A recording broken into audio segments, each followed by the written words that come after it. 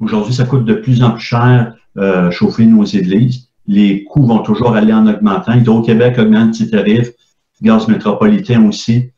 Quand euh, Eric est venu faire l'installation chez nous, il nous disait ah, il y a des paroisses qui ont des budgets serrés, tout ça. Euh, ils sont pas sûrs d'embarquer, mais raison de plus de le faire. Si ton budget est serré, tu veux couper sur ton, sur ton chauffage, raison de plus d'embarquer.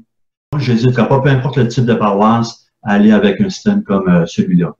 C'est des minuscules trous qu'on a fait dans les planchers, fait que ça pas... Euh, et puis c'est très peu apparent. Quelqu'un qui vient chez nous, euh, qui, le remarque, ça se remarque pas. Ils m'ont dit que c'était très, très, très facile à utiliser, c'était pas un casse-tête là, au niveau de l'utilisation. J'ai pas eu de commentaire, aucun commentaire négatif de la part des paroissiens en me disant que c'est trop froid dans l'église ou trop chaud. Il n'y a aucune pression.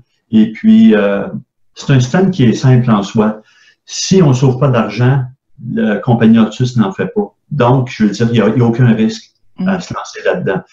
On apprend beaucoup de choses là, quand on a euh, un système comme celui-là.